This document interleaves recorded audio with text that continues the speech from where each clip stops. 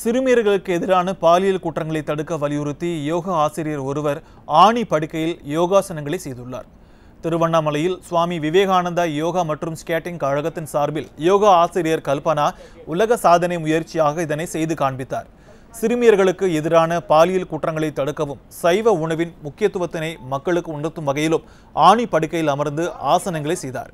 இரண்டாயிரத்தி ஐநூற்று ஐம்பத்தைந்து இரும்பு ஆணி படுக்கையில் இருந்து கொண்டு தனூராசனம் பவழ முத்தாசனம் பவித்திர திருகோண ஆசனம் உள்ளிட்ட ஆசனங்களை அவர் செய்து காண்பித்தார்.